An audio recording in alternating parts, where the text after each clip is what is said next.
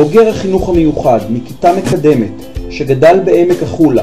הגיע להישגים היסטוריים בתחום הספורט ובמפגש מרגש עם תלמידי החינוך המיוחד של בית הספר מספר להם איתמר את סיפורו ואומר בנחרצות השמיים הם הגבול